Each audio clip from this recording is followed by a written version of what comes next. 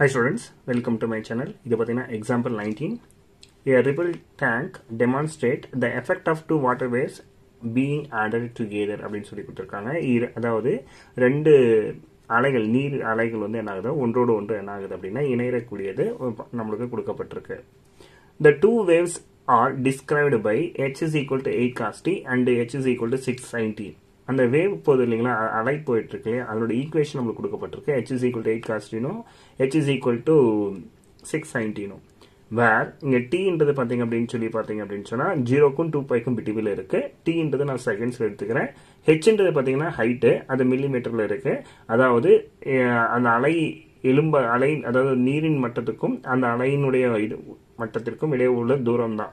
நம்ம என்ன எடுத்துக்கிறோம்னா ஹெச் அப்படி நம்ம எடுத்துக்கிறோம். இப்போ என்ன கொஸ்டின் கேட்குறாங்க அப்படின்னா இந்த ரெண்டு அலைகளும் ஜாயிண்ட் ஆகும்போது இந்த ரிசல்டன்ட் வேவ்னு ஒன்று கிடைக்கும்.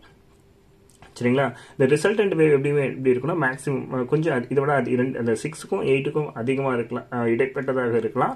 இல்லை அதை விட அதிகமாகவும் இருக்கலாம். ஸோ அப்படி இருக்கும்போது ஸோ இதோட மேக்ஸிமம் ஹைட் என்ன அப்படின்னு சொல்லி கேட்குறாங்க சரிங்களா? அதுக்கடுத்தது value of t and the value of t எந்த டைமில் வந்து அது இருக்கும் அப்படின்னு சொல்லி கேட்குறாங்க right the resultant find the maximum height of the resultant wave and the value of t at which it occurs அது எந்த நேரத்தில் இது நடக்குது அப்படின்றத கேட்குறாங்க ஹாய் ஸ்டூடெண்ட்ஸ் இப்போ இதுக்கு ஒரு ரஃப் டயக்ராம் போட போகிறோம் பாருங்கள் ஸோ இந்த ரஃப் டயக்ராமில் இது வந்து டி எடுத்துக்கிறேன். ஓகேங்களா அதாவது இது வந்து டீனும் இது வந்து ஹைட் அப்படின்றத நான் எடுத்துக்க போகிறேன் ஸோ இங்கே ஃபஸ்ட் நமக்கு வந்து பை பை டூ அதுக்கடுத்தது பை அதுக்கடுத்தது த்ரீ பை பை டூ இங்கே வந்து டூ பை ஸோ இந்த இடத்துல நான் என்ன எடுக்க போகிறேன்னா டூ ஃபோர் சிக்ஸ் எயிட் அப்படி எடுக்க போகிறேன் இந்த இடத்துல நான் minus two minus four minus six and minus eight அப்படின்னு எடுக்க போகிறேன் ஸோ எனக்கு நல்லாவே தெரியும்.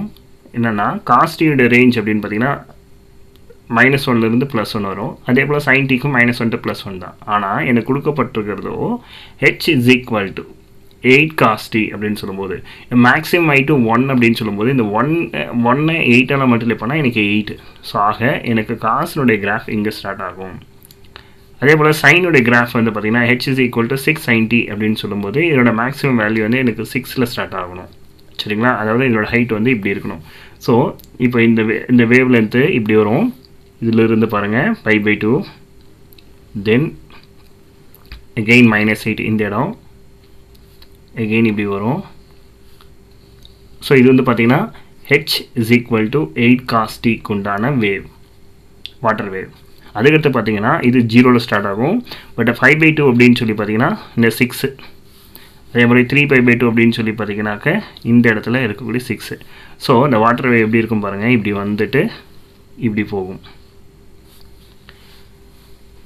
இப்போ இதனோட ரிசல்டன்ட் வேவ் அப்படின்னு பார்த்தீங்கன்னா ஸோ இது வந்து நம்ம ஹைட்டு இது வந்து ஹெச் இதுவும் ஹெச்சு தான் இதுவும் ஹெச்சு தான் சரிங்களா? இப்போ ரிசல்டன்ட் வேவ் என்ன ஒரு இமேஜின் பண்ணிக்கோங்க. ரிசல்டன்ட் வேவ் இது ரெண்டுத்துக்கும் இடையில வரும் அப்படின்னு சொல்லிட்டு. அப்போ என்னோட ஹைட் என்ன மேக்ஸிமம் ஹைட் என்ன ஆகுது கொஞ்சம் இன்க்ரீஸ் ஆகுதா? இதுதான் நம்ம என்ன எடுத்துக்க போகிறோம் அப்படின்னு சொல்லி பார்த்தீங்கன்னா கேபிட்டல் ஹெச் அப்படின்றத எடுக்க போகிறோம் ஓகேங்களா? அதை நம்ம இங்கே மென்ஷன் பண்ண போகிறோம் என்னென்னு பாருங்கள் let h be the height of the resultant wave.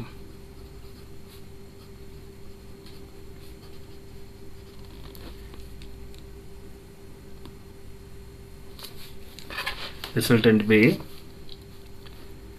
at time t இப்படி எழுதிக்கிறோம் ரிசல்டன்ட் எல்லாமே என்ன பண்ணுவோம்? நம்ம ஆட் பண்ணுவோம் இல்லைங்களா? ஸோ கொடுத்துருக்க ரெண்டுமே எடுத்துக்கலாம். That is h is equal to eight cos t plus six sin t இது இது பார்க்க லுக் லைக் எப்படி இருக்குது அப்படின்னு சொன்னால் இது பார்க்குறது எப்படி இருக்குன்னா cos cos a cos b plus sin a sin b அந்த மாதிரி இருக்குது சரிங்களா? Cos a cos b plus sin a sin b அப்புறம் என்ன formula cos of a minus b so இதை டேரெக்டாக நம்ம எடுத்துக்க முடியாது. இங்கே ஏன்னா இங்கே எயிட் மேக்னிடியூட் வேல்யூ இருக்குது இல்லையா? அதனால் நான் ஃபர்ஸ்ட் சம் என்ன பண்ணிக்கிறேன் அப்படின்னு சொன்னால் ஃபர்ஸ்ட் சம் கே அப்படின்னு எடுத்துக்கிறேன். சரிங்களா? இன்ட்டு காஸ் ஆஃப் இது டி மைனஸ் இந்த எயிட்டுக்கு உண்டான வேல்யூ எப்படி இருக்கும் அப்படின்னு சொன்னால் இன் டர்ம்ஸ் ஆஃப் ஆல்ஃபா ஒரு ஆங்கிள் மூலிமா இருக்கும். அதனால் இது நான் எப்படி எடுத்துக்கிறேன்? ஸோ இதை வந்து அப்படியே எக்ஸ்பேண்ட் பண்ண போகிறேன் தட் இஸ் என்ன ஆயிடுச்சு அப்படின்னு சொல்லி பார்த்தீங்கன்னா இங்கே K into cos theta minus alpha அப்படின்னு சொல்லி பார்த்தீங்கன்னா எப்படி எல்லாம்? இதுவும் ஹெச் தான். இப்போது cos of D minus ஆல்ஃபாக்கு cos T cos alpha plus sine T sine alpha which is equal to eight cos T plus six sine இப்போ equating the components of cos T as well as என்ன எடுத்துக்கிறேன்? Sign D காஸ்டியும் sign டியினுடைய கெழுக்களை நம்ம என்ன பண்ணோம் சமப்படுத்துகிறோம். சமப்படுத்தும் போது இங்கே என்ன ஆகிடும்னா கே இன்ட்டு காஸ் ஆல்ஃபான்னு வரும். விச் இஸ் ஈக்குவல் டு இது ஈக்குவேஷன் நம்ம ஒன் எடுத்துக்கோங்க. இங்கே என்ன இருக்குது எயிட்டு இங்கே கே சைன் ஆல்ஃபா அப்படி இது வந்து டூன்னு எடுத்துக்கலாம். கே சைன் ஆல்ஃபா அப்படின்னு சொல்லி பார்த்தீங்கன்னா ஏன்னா சைன் டியோட கம்பேர் பண்ணும்போது இங்கே ஆல்ஃபா சைன் ஆல்ஃபா இருக்குது இங்கே கே இருக்குது so k sin alpha which is equal என்ன அப்படின்னு சொன்னால் சிக்ஸ் இது வந்து த்ரீன்னு எடுத்துக்கோங்க.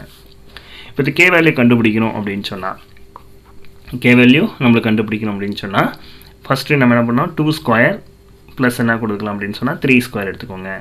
அப்போது k square cos square alpha plus k square sin square alpha which is equal to eight square plus என்ன ஆச்சு six square so k square காமனாக வெளியே எடுத்துட்டிங்கன்னா cos square alpha plus sin square alpha value வந்து ஒன்று which is equal to hundred அப்போ K is equal to என்ன ஆயிடுச்சு அப்படின்னு சொல்லி பார்த்தீங்கன்னா ten therefore first equation implies h is equal to 10 into cos of t minus alpha. காசுடைய maximum value எப்போ கிடைக்கும் அப்படின்னு சொன்னால் ஜீரோ டிகிரியாக கிடைக்கும். இன்னொன்று பார்த்தீங்கன்னா காசு டூ பைக்கு வேல்யூ ஒன்றுன்னு கிடைக்கும். ஆனால் நம்மளுக்கு இங்கே டூ பை கிடையாது. சரிங்களா ஸோ அப்போ மேக்ஸிமம் வேல்யூ எப்போ கிடைக்கும்னா காஸ்ட் ஜீரோ டிகிரி தான் கிடைக்கும். அப்போ காஸ்ட் ஜீரோ டிகிரி வேணும் அப்படின்னா ஹியர் இந்த t minus alpha is equal என்னவாக இருக்கும் அப்படின்னு சொல்லி பார்த்தீங்கன்னா ஜீரோவாக இருக்கும். Therefore the maximum height of h which is equal to என்ன எழுதலாம் ten millimetre when t is equal to alpha t is equal to alpha. So t is equal to alpha இருக்கும்போது பட் ஆல்ஃபா நம்மளுக்கு வேணும் இல்லையா? So இந்த ஆல்ஃபாவை கண்டுபிடிச்சா போதும் டீயை கண்டுபிடிச்சதுக்கு ஈக்குவல் ஸோ இப்போ இந்த ஆல்ஃபா என்னவா இருக்கும் அப்படின்னு சொல்லி பார்த்தீங்கன்னா தட் இஸ் நான் என்ன பண்ண போகிறேன் அப்படின்னு சொல்லி பார்த்தீங்கன்னா த்ரீ டிவைட் பை டூ கொடுக்க போகிறேன் த்ரீ பை டூ அப்படின்னு சொல்லி பார்த்தீங்கன்னா k sin alpha divide by k cos alpha which is equal to six divide by eight so k k என்ன ஆகிடும் நம்மளுக்கு? கேன்சல் ஆகிடும் அப்போ tan alpha which is equal to இதை கேன்சல் பண்ணிங்கன்னா த்ரீ டிவைட் பை ஃபோர் நம்ம கேட்டுங்கிறது alpha so alpha is equal to tan inverse of three by four அப்போ ஆல்ஃபாக்கு tan inverse of three by four அப்படின்ற வேல்யூ இருக்கும்போது நம்மளுக்கு என்ன ஆகும் அப்படின்னு சொல்லி பார்த்தீங்கன்னா இந்த ரிசல்டன்ட் வேவனோட ஹைட் என்னவாக இருக்கும் அப்படின்னு சொல்லி பார்த்தீங்கன்னா மேக்ஸிமமாக இருக்கும். இதுதான் இதுக்கான சொல்யூஷன் தேங்க்யூ